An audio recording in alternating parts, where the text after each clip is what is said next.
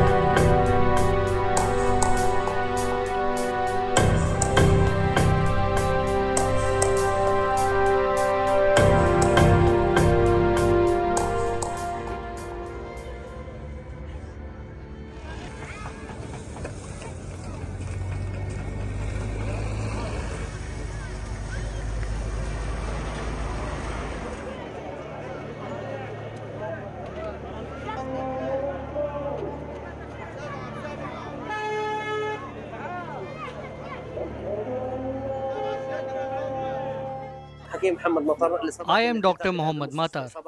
The injuries arriving at this hospital are very severe for women and children. The injuries are very severe, and with the little resources we have, and the money and medicine that is not available, as well as the means of transportation for the injured, where the injured arrive in donkey carts or personal vehicles. The minimal ambulances and means of transportation is making this time for us extremely difficult. The situation is catastrophic in all senses of the word. The lack of resources and medical tools means we can't treat injured in this state. احنا لقيتها بندورش على الامان المعيشي I'm not looking for safe living conditions or to protect myself from death. I'm not looking to protect myself or my children from death. Today I'm looking to secure at least some food that me and my family can eat. And not just for me, but all the families here.